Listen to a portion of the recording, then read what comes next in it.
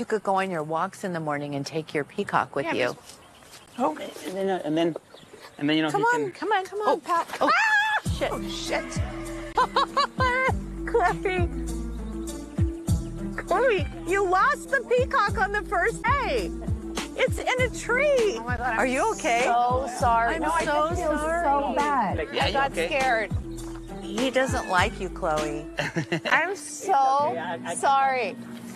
I think I just lost his bird. Oh my god. Oh my God. Do you think he'll come back? I lost a peacock.